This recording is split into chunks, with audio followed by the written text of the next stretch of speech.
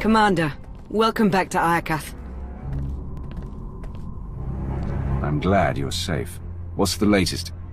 The war's heating up with every passing minute. You didn't tell us you had company. Our trigger-happy friends sent these assassins, so I took them captive. I told you I'm no assassin. I've come to deliver a message from the Republic. And you are?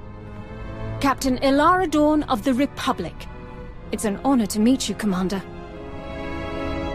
You're looking more potent than ever, my lord. Quinn?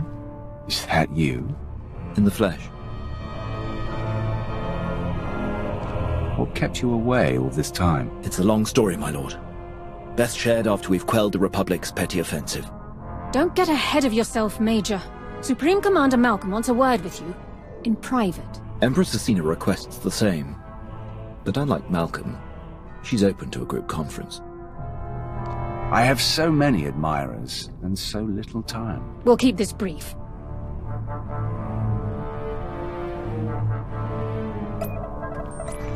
Thank you for extending the Empire this honor, Commander. The Republic's glad to see you. And my son, on Iokath. Keep me out of this, Malcolm. Enough. Supreme Commander Malcolm. Empress Acina. Your armies have started a war over a superweapon of immeasurable power. Why would you risk everything over a single weapon? I take full responsibility for the Republic's actions, but I won't apologize. This ought to be rich. It's no secret the Eternal Empire nearly wiped out the Republic. We're struggling to rebuild and protect ourselves. The superweapon on Iokath is the key to the Republic's survival, and I'll be damned if I'm gonna watch it fall into the Empire's treacherous hands. I didn't come here to be insulted. Choose your next words carefully, Malcolm. I know you've spilled your share of Republic blood, but that's in the past. Join forces with the Republic. Help us defeat the Empire, and we'll share access to the superweapon, and all of Iokath. The Empire is already my ally. Why should I break that bond to side with you? Acina tried to steal the superweapon out from under your nose. In my book, that's grounds to dissolve your partnership. He has a point. This is absurd.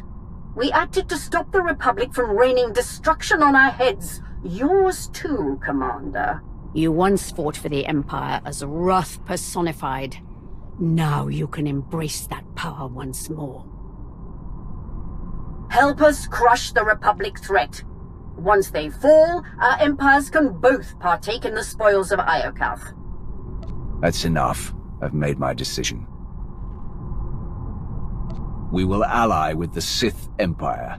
A wise choice. Sith never listen to reason. Dorn, do it! For the Republic!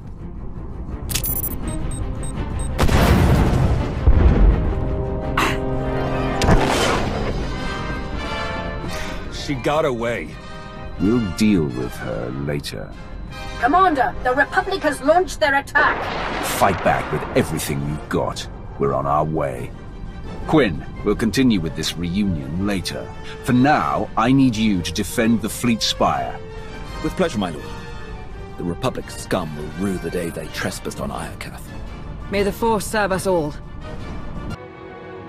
Excuse me, my lord.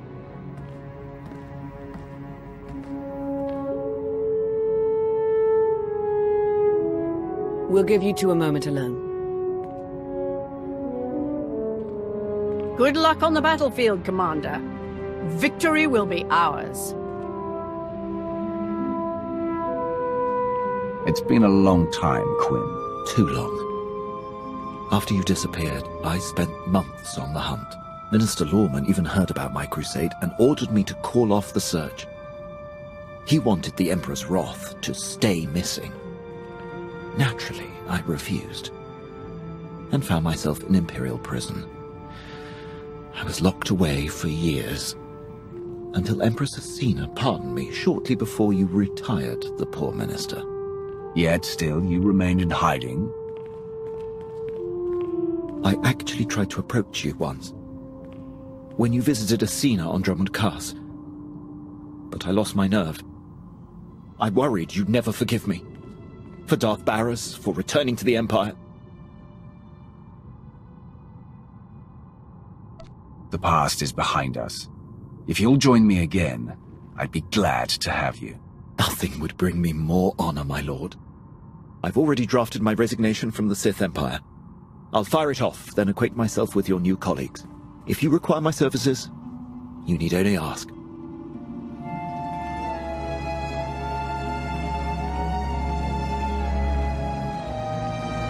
I know you two have a lot of history, but he could be our traitor. The question is, do you trust Major Quinn? Quinn betrayed me once already. Deep down, I may never be able to trust him again. I'll put a tail on him.